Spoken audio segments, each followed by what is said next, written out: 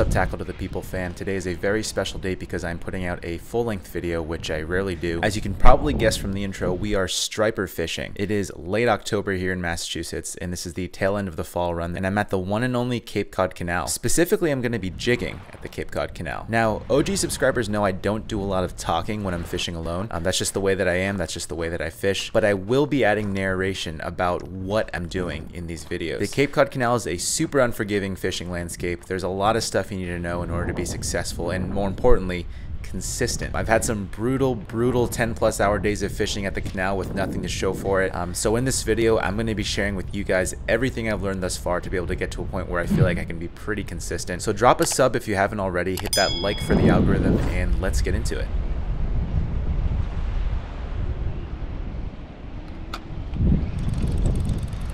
So if you're new to jigging at the canal or jigging in general, the name of the game is bottom fishing. Unless you're fishing a topwater blitz, most of the time you're going to be getting striper off the bottom. And that means you got to let your jig sink all the way down. So I typically cast as far as I can and then I just leave my bail open until I feel that thump of the jig hitting bottom. Obviously it's super windy today, so I'm keeping an eye on where my line is blowing. Once you're at bottom, there's a number of ways you can retrieve your lure. Here I'm just doing a steady retrieve with an occasional pop.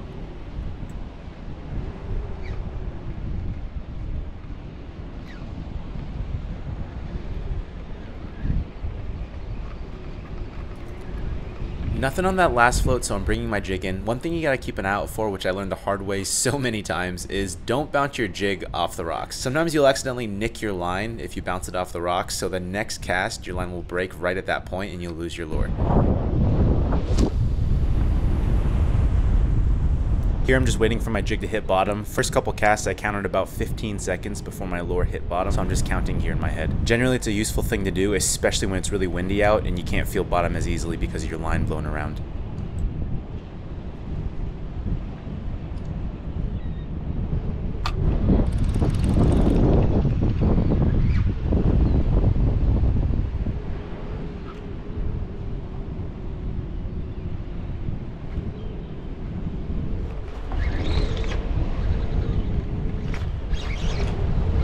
So here we have our first fish on. As you saw, he missed the first time. Best practice actually is to horse the fish in as quickly as you can. So my, my drag's pretty locked. The reason for that is because you don't want the fish to catch current. Once it catches current, it'll have a lot more force to be able to run. And also, he's more likely to tangle other people's lines who are fishing further downstream from you. Lastly, it's also better for the fish. Short fight means less energy expended fighting you, meaning he's more likely to get revived and swim off safely to live another day.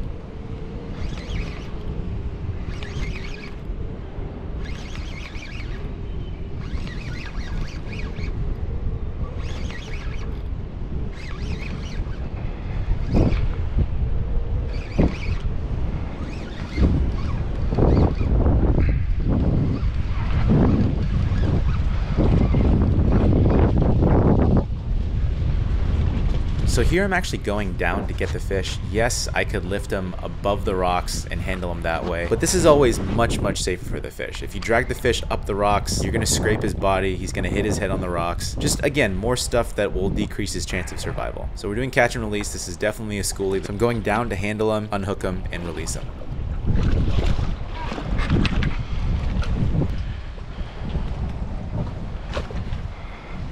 Nice healthy schoolie, altogether probably 60 seconds out of the water. I got what I got in terms of the footage and I'm putting him right back.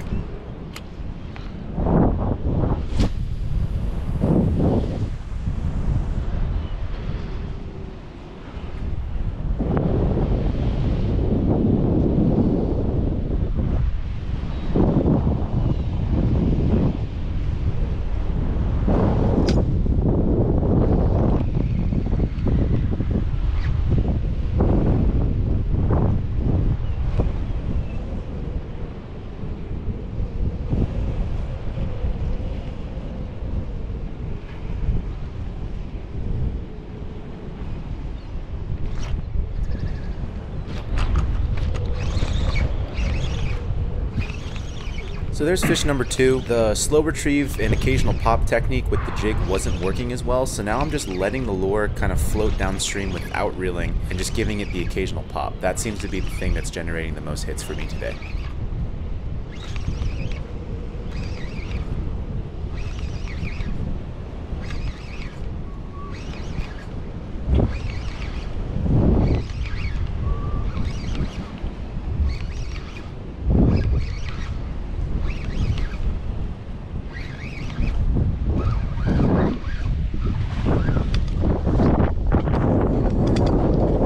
So if you've never fished a jetty or rock pilings before, it can get ridiculously slippery. If you just show up in sneakers with no treads, then there's a good chance you're gonna wipe out. So I'm using non-studded Korkers here, just the regular rubber sole, and it seems to do the trick for me. Nothing ruins a day of fishing like a trip to the ER.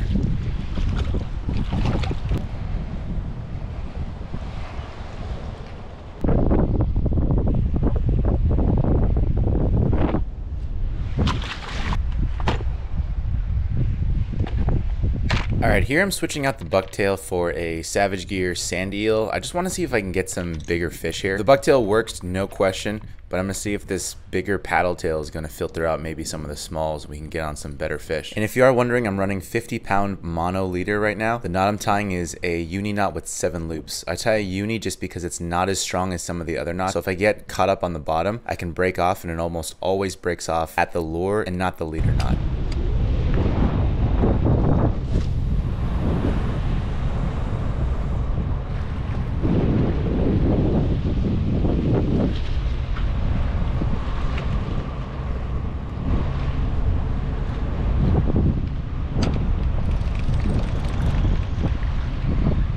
paddle tail actually creates a lot more drag in the water column, so it actually hits bottom a lot slower. It's Part of the reason why I like bucktails more, but as you're going to see in a little bit, it doesn't really make a difference this morning.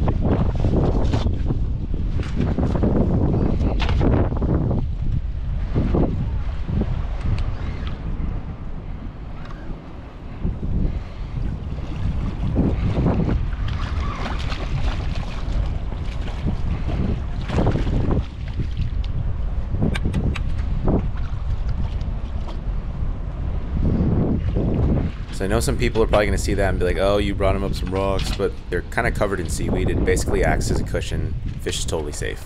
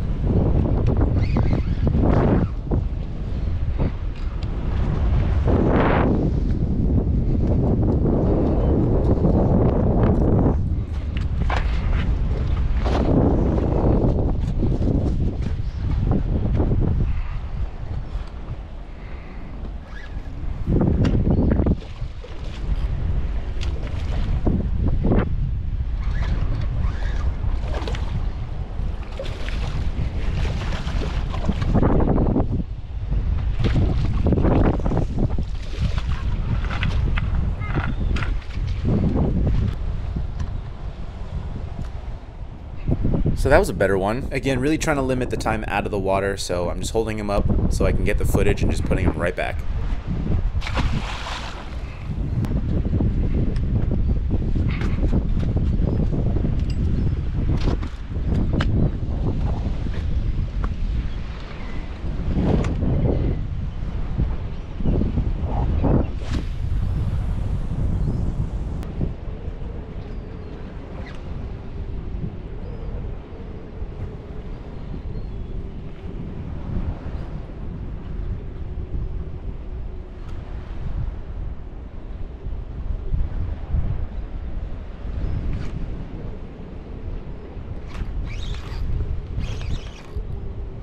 That's fish number four, I think. They're really stacked up off to the right over there.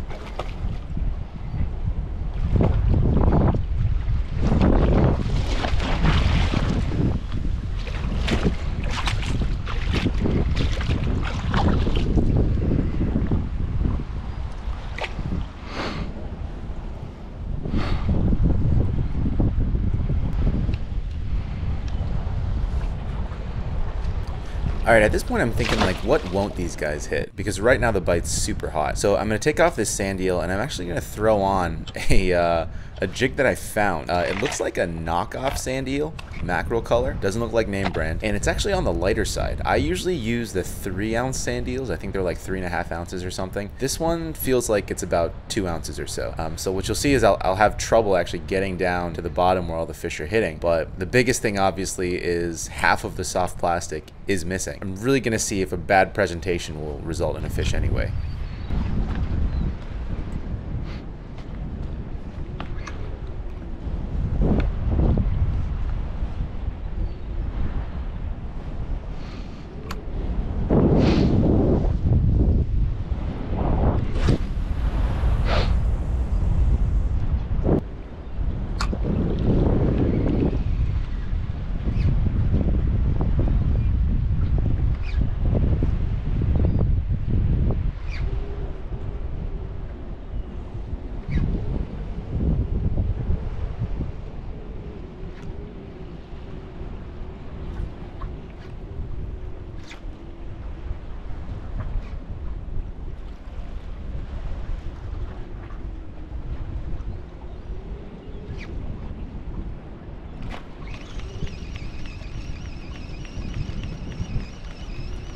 So this is when I realized that this jig's giving me problems. It's way too light, I'm floating down current way too quickly, and I'm not fishing close enough to the bottom. So this next cast I'm catching farther to the left and really just letting line fly out.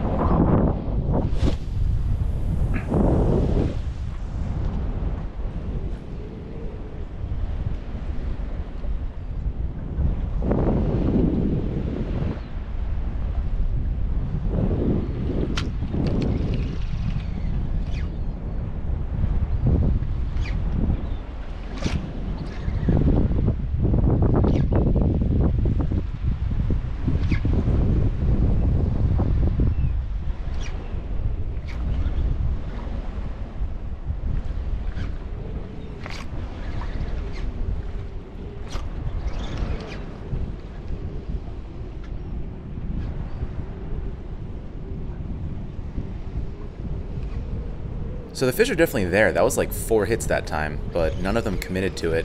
Could be the presentation, could just be completely unrelated, but this next cast we're to get one.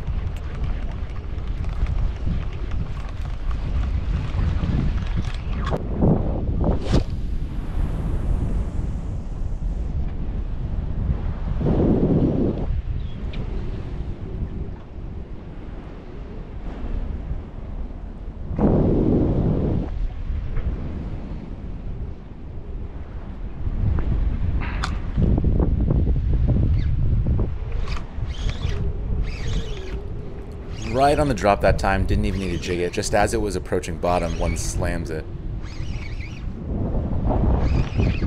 Nice, you got a slot? Nice. Yeah, you gotta work your way through the tiny ones. Cool. Yeah, still fun.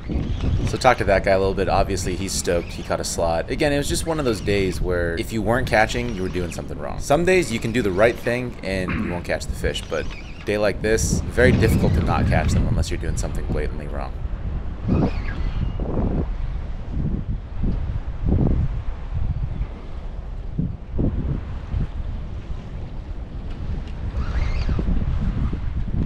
So I know earlier I mentioned you should go down and handle your fish, but this striper was so small I was confident I could rod flip him without him hitting the rocks. And notice how all the handling happens in the air. The fish doesn't touch the rocks. But that was fun. Now we know that they'd hit even a broken soft plastic. So I'm gonna switch to a proper lure now, hopefully get some size and get a slot, just like that last guy that walked by. I'm gonna be switching gears to a canal bait and tackle peanut bunker jig, three ounces.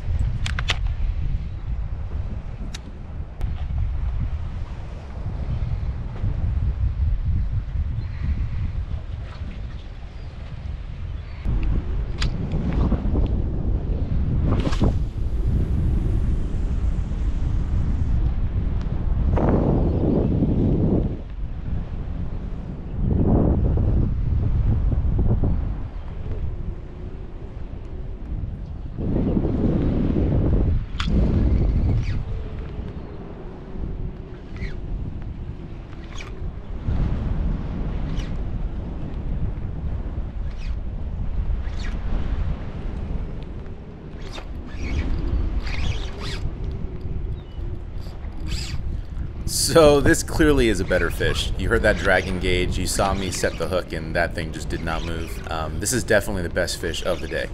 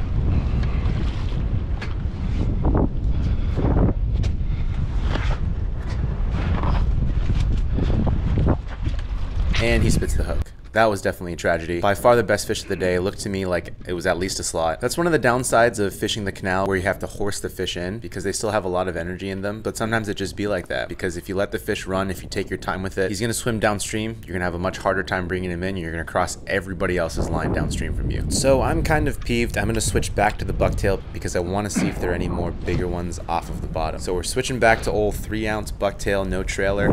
Here we go.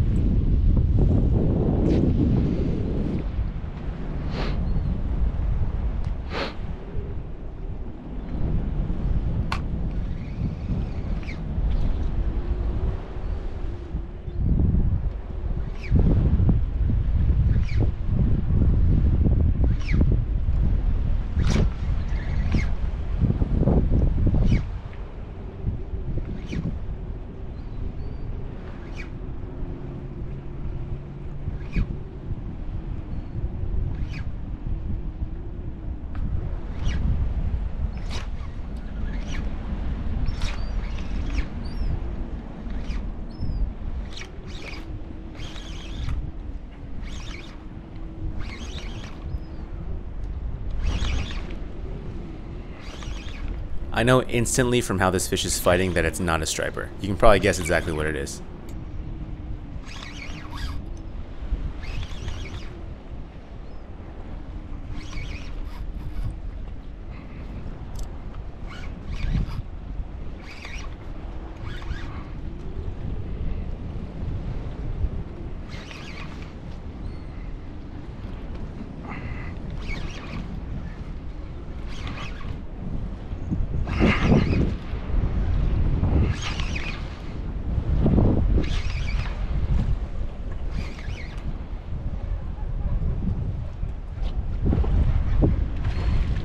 Bluefish.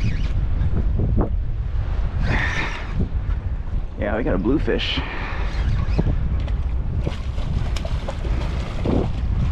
That there's a bluefish. Oh, that's a nice bluefish.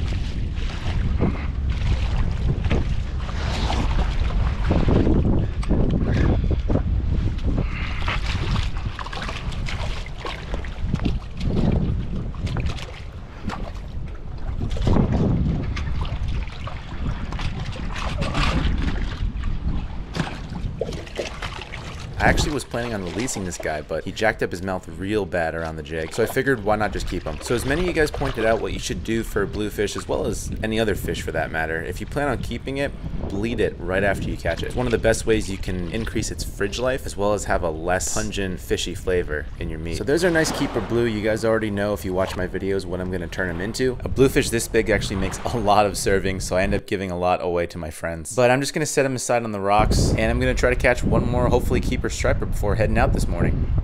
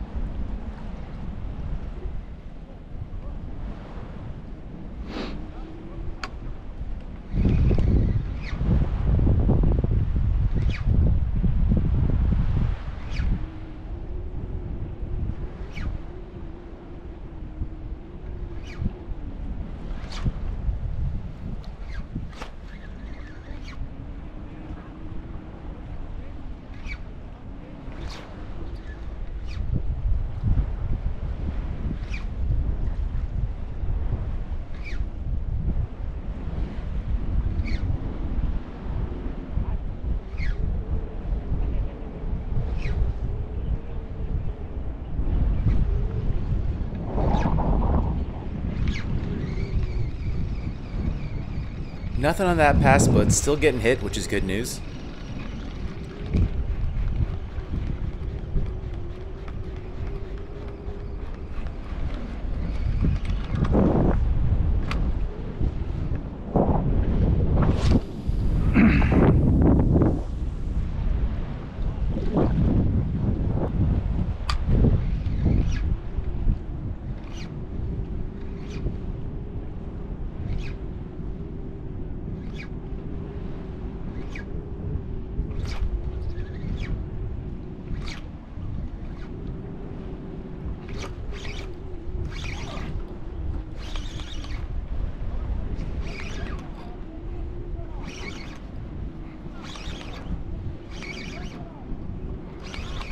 Funny because the tide's actually starting to flip, so the fishing's getting a little bit slower. Those guys down there are screaming in what I think is Brazilian Portuguese because they're not able to hook up, but there's still definitely fish here.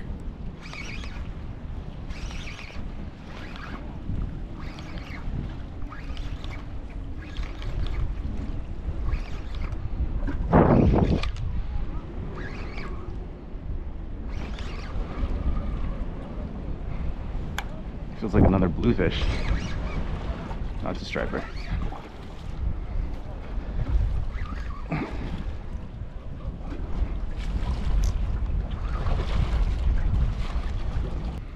Well, that's all she wrote. My arm's sore, tide's about to flip, so it's anticipated to get slower anyway. Taking a little vertical video for my short form content, but if you're still watching, thanks for making it to the end, and I'll see you guys in the next one.